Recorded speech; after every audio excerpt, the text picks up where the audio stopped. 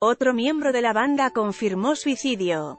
La agrupación está en la nómina del Festival Stereo Picnic 2019. Zulet, miembro de la banda de Prodigy, confirmó este lunes que la muerte de su colega Keith Flint, cantante de la formación, ha sido un suicidio. Zulet señaló en el perfil oficial de Instagram del grupo británico que Flint se quitó la vida, después de que la policía de Essex, este de Inglaterra, informara esta mañana de que había encontrado muerto al cantante, de 49 años, en su domicilio.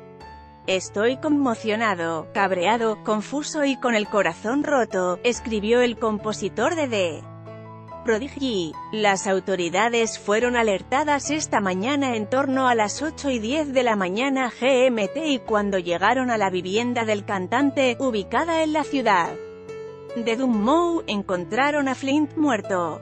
La muerte no está siendo tratada como sospechosa y se está preparando un informe para el forense, indicó en ese momento la policía, antes de que Zuleta asegurara que se trata de un suicidio.